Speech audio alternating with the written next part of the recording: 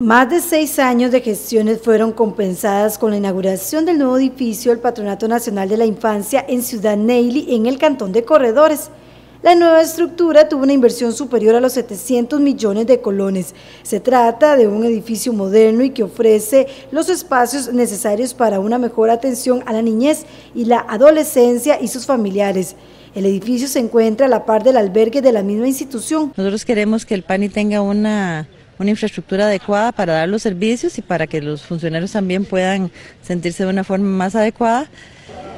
Para eso y para que no nos ocurra como en este caso, que se tardó muchos años en, poderlo concluir, hemos propuesto un fideicomiso, un fideicomiso de infraestructura del Patronato Nacional de la Infancia con el Banco Nacional de Costa Rica. Ya está firmado, el, ya está adjudicado el fideicomiso y vamos a hacer oficinas y albergues alrededor del país. Es una inversión de 25 millones de dólares, precisamente para eso, para mejorar la infraestructura del PANI.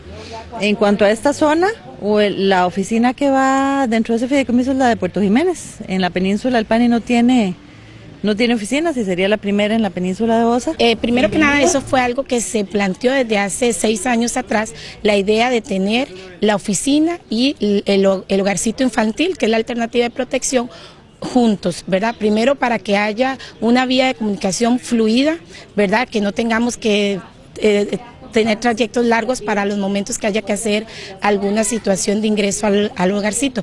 Sin embargo, sí se duró mucho tiempo para tener la oficina, ¿verdad? Que hoy ya por hoy podemos ver realidad. Las condiciones en las que anteriormente se trabajaba no eran las mejores, por ello se hizo lo posible para tener este edificio. Inclusive ustedes fueron los que llevaron la primicia cuando estaba eh, el edificio en construcción y pasaron muchos años, pero bueno, gracias a Dios hoy por hoy ya lo podemos ver hecho una realidad.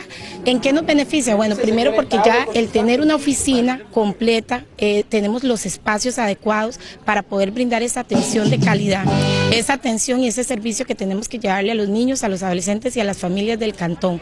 En pro de ellos es que nosotros eh, necesitábamos y justificábamos el tener un edificio donde ya inclusive los abordajes se hagan de una forma individualizada, pero donde debe prevalecer la intimidad y la privacidad.